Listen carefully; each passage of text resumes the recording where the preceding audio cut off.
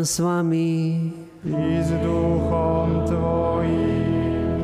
Čítanie zo Sveto Evanília podľa Lukáša. Sláva Tebe, Pane. Ježišov otec a matka divili sa tomu, čo sa o ňom hovorilo. Simeon ich požehnal a Márii jeho matke povedal, on je ustanovený na pád a na povstanie pre mnohých v Izraeli a na znamenie, ktorému budú odporovať. A tvoju vlastnú dušu prenikne meč, aby vyšlo najavo zmýšľanie mnohých srdc.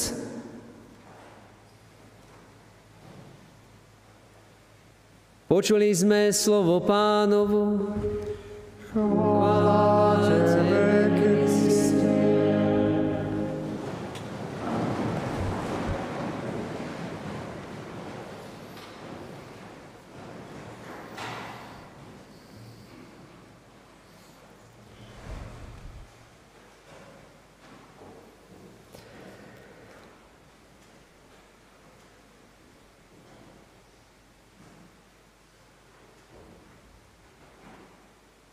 Asi s nikým na tejto zemi nie je tak na život spojený ako práve s matkou. A viac menej dieťa prvých 9 mesiacov úplne závisí od, od mamy. Keď sa niečo preruší, tak to sa už nedá, že potom sa pokračuje. Všetká krv, a nielen krv, že nejak to prúdi život a vyžíva to dieťatka, ktoré vzniká, ktoré sa formuje, a kde mama nerobí nič, ona len pozoruje, že rastie brúško, že sa aj troška formuje aj postava tak ináč, vlastne sa ťažisko presúva. A nikto netuší, že čo to za, za, za zázrak, za div. Ten človek jednoducho rastie sám. V neopakovateľnej jedinečnosti svojho bytia, kde už v určitom čase začne žiť taký svoj život, začne mať vlastnú krv, srdiečko začne pumpovať vlastnú krv. A to už není len o mame, ale úplne závisí od nej. Je s ňou úplne spojený. A nie len spojený pupučnou šnúrou. A spojený o mnoho viacej. No a potom, keď sa dieťatko narodí, keby zostalo pripevnené to pupočnou šnúrou, tak zomrie aj ono a zomrie aj mama.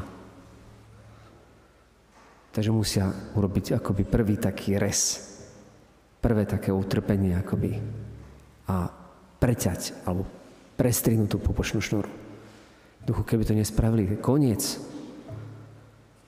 Lekári by vám povedali, že vôbec aj ten pôrod, že to je taký jeden zázrak, že to vôbec nie je také jednoduché. Dobre, teraz sú aj mladé devčatá, nechcem vás to, aby ste sa báli. Ale že to, je, že to je vôbec taký div, aj vôbec sa narodiť a prísť akože do tohto sveta. A potom to prestrihnutie. Lenže potrebuje prestrihnúť sa nielen tá pupučná šnúra, potrebuje sa prestrihnúť mnoho viacej. Pokiaľ by si mama príliš narokovala na to dieťa, alebo zase opačne by sa nestarala, tak to by bola katastrofa. Zase zo živočíchov, všetkých živých na tejto planete, sa len človek je najviac odkázaný. Aký dlhý čas na to, aby sa mama o neho starala. Každé iné zvieratko už po nejakých, niektoré už po nejakých tých hodinách už dokáže sa postaviť na nohy. A neviem, to by vedeli povedať nejakí iní, ktorí sa venujú tomu. Alebo dokáže plávať vo vode. Alebo proste niečo, že už sú to prvé, prvé chvíle, už dokáže fungovať same. A že tam len malinko tomu treba pomôcť, aby dokázal potom sa nejako naštartovať a fungovať. Že potravu, čo ja viem, vtáčikom, ktoré otvárajú hladné zobačiky a, a tá ich mamička alebo otecko im donesú jesť a nakrmia ich. Ale my ako ľudia sme totálne závislí. Ani rok nám nestačí. Ani tri roky nám nestačia. Keď nás ponecháte niekde v prírode, tak môže mať aj 10 rokov. A keby zostal sám v prírode u nejakého pralesi, tak najbezbranejšie stvorenie. hoď má perspektívu byť nad celým tvorstvom, tak najbezbranejšie stvorenie je človek.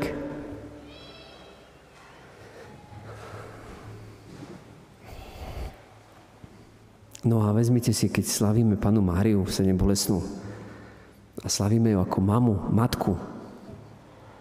Matku, ktorá teda netrpela možno v tom pri pôrode, ako trpia možno iné ženy.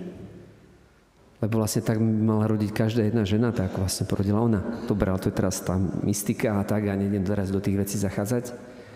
Ale iné je, že trpela iným utrpením. Hovoríme, že koľko, Pana Mária, koľko, bolestná? Deti, počúvali ste? No, čo sa pripravete na prvé príjmanie? Koľko bolestná? Koľko má bolesti? Sedem. Super. Takže počúvali ste. Prečo sedem? Lebo to je plnosť. To nehovorí, že presné číslo. Dobre, my vieme aj tých sedem bolestí, ktoré to boli. Či to bol žutek do Egypta, alebo to bolo strata Ježiša v chráme, alebo proste množstvo iných, o, alebo tá vlastne posledná, ktorú vlastne by sme mali aj teraz, keby som čítal Evangelium podľa Jána, tak keď bolo pod krížom. Alebo jedna z týchto, keď Simeon povedal svoje proroctvo a povedal, tvoju vlastnú dušu prenikne meč. Úplne také tvrdé slova. A hovorí, aby vyšlo najavo zmýšľanie mnohých srdc. Že Ježiš sa stane, dieťatko sa stane, tvoje dieťa sa stane znamením protirečenia. Pre niektorých pre pád, niektorým pre povstanie. Niektorým bude ako skala, na ktorú môžu podstaviť svoj život a pre nich sa stane kameňom úrazu alebo skalou pohoršenia. A naozaj Ježišov kríž je pre mnohých nepochopením. Ale pre nás je Božou mocou pre nás je našou záchranou. Pre nás je našou spásou. A tak eh, Pána Mária, už naši predkovia pozerali na ňu s takou dôverou, lebo keď prežívali utrpenie často do národov, tak k eh, nej sa utekali. Vnímali, že ako si cez túto mamu môžu vstúpiť možno aj do toho tajomstva. Vezmite si aj teraz, keď ste v Mexiku, a Pana Maria Guadalupská. Neviem, či chlapci ste videli také, taký obraz Pani Maria Guadalupské, to vám potom ukážem, alebo poviem dievčatám, aby vám ukázali. O, tak o, Mexičania vám povedia, že u nás je 90% kresťanov a 100% je Guadalupanov. Guadalupanov, to znamená, že Pani Marie Guadalupskej, aby ste rozumeli. To znamená, takto berú ako je ich súčasť, ako ich identita. No a pre nás by mala byť identitou, pre nás Slovákov, tak jednak to, že sme Slováci, to znamená odvodení od slova, čo už písal svätý Metod a svätý Cyril, teda svätý Cyril lepšie, že slovo, ktoré bolo u Boha, tak to prišlo k vám. A my sa voláme Slováci od toho odvodení od slova. Ako Slovania, od slova. A mnohí tomu nerozumejú a nepoznajú svoju identitu. To, že máme ako jedný z mála kríž v lajke, to tiež tomu mnohí nerozumejú. A to, že máme panu Máriu ako patronku, ako mamu. A že čo to znamená, to je duchovné materstvo. Také slovo, ktoré som mal, keď akože ohľadom tohto, že čo to, čo to znamená pre nás, čo z toho môžeme mať my, tak bolo slovo, že účasť, spoluúčasť. Taliani povedia participazione, čiže mať účasť na niečo, mať účasť na živote. Mať účasť na živote, ktorý aj mama by nám chcela dať. Ale to je účasť na Božom živote. Ona niesla v sebe Boží život. Čiže nielen obyčajný život, ale Boží život. Tak Pána Mária nám prináša Boží život. Keď nám prináša Ježiša. Keď nám ho takto dáva. A my doteraz sme závislí akoby od tela a krvi, ktorou nás Boh sám chce živiť. Podobne ako matka svoje dieťa. Krmi a láska. Tak toto nám Boh dáva. No a Pána Maria je nás ochotná určitým spôsobom, ona si mohla nárokovať na Ježiša. Pane Išu, zostaneš doma pri mne, pozri sa, Jozef už zomrel a ja som zostala sama. Títo protestanti, teda oddelní bratia, ale aj protestanti, niektorí si vykladajú ten odkaz Ježišov na kríži, keď hovorí, hľa tvoja matka, a matke hovorí, hľa tvoj syn. Takže to povedal vlastne Janovi preto, aby sa postaral o panu Máriu že zrejme pán Ježiš to nestihol dotiahnuť počas života, aby sa o ňu postaral, o jej fyzické zabezpečenie. No tak na kríži ešte si spomenul, aha, tak dobre, tak tu máš syna a to bude aj tvoja mama. Tak je to dosť také prázdne. Rozumiete, Boh, keď povie niečo na posledné slova, tak to nie je na to, že by myslel na nejaké materiálne veci aj to je dôležité, ale určite nie na to. Ale dáva nám duchovný odkaz. Dáva nám svoj testament. Odozdáva nám niečo veľmi podstatné a dôležité. Keď zomieral na kríži, to boli tie najdôležitejšie veci. A jednoducho ako pri stvorení Boh dáva človeku ženu, tak on pri vykúpení, teraz pri novom stvorení, dáva novú ženu. Tá prvá žena nás naviedla na to, že sme začali pochybovať o Bohu. A sme začali veriť zlému. A sme sa stali otrokmi. A táto druhá žena nás vedie k tomu, aby sme verili. Aby sme Bohu totálne dôverovali. Aby sme sa mu nebali odozdať celý svoj život a tak mohli nájsť spásu. Tak objavili naozaj to, čo si mysleli prví rodičia, že im to Boh asi nedoprial. Byť ako Boh. Byť jeho deťmi. Stať sa mu podobnými. A Boh nám toto dáva. A ona ako mama by chcela, aby sme všetky jej deti poznali Boha, jeho lásku voči tebe. Toto má najväčšiu túžbu. Pána Maria si nežila nič viac. Vtedy by to bolo znamením pre nás, znamením záchrany. Ona nás preto, ako keď Pavol hovorí, znova vás bolestiach rodím, kým vás nebude stvárnený Kristus, tak ona tiež nás akoby v bolestiach rodí cez utrpenie, za ktorý mala účasť. Ona prežívala spolúčasť Kristovým utrpením. Hoď sama nebola zakrvavená vlastnou krvou, ale prežívala tú bolesť rovnako spolu so svojím synom.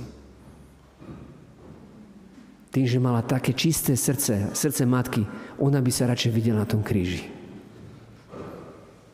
Toto by ste ako mami určite mohli pochopiť. A my niektorí aj otcovia by sme to mohli pochopiť že radšej by sme zomreli my, ako by sme videli zomierať deti. A napriek tomu nie sú naše, ale patria Bohu. A my nemáme nárok si ich akoby privlastniť. Opatria Bohu, nie nám. A Boh toto robí. On toto robí. Takže aj my dnešný deň môžeme urobiť takéto gesto toho odozdania, že Pána Mária, nechceme len spievať o tom, že Ty si sláva nášho národa, Ty si radosť nášho ľudu, ale chceme Ti v prvom rade povedať to svoje áno. Lebo Ty si matka, ktorá hovorí áno pre nás. Ty si matka, ktorá hovorí áno pre naše šťastie. Dokonca nás necháš ísť vlastnou cestou. A hovoríš nám áno choď, dieťa moje, a buď poženaný, buď poženaná. Ako pustila Ježiša, tak púšťaj nás. Nechce si nás privlastniť, ale chce, aby sme boli Boží. To je jediné, po čom túži. Aby sme boli svetí. Lebo to vie, že budeme šťastní, keď budeme svetí. Takže vo svojom srdci skús povedať, Pana Mária, tak ti chcem povedať svoje áno. Ty to moje áno zväčší, rozšír a prinies k Bohu.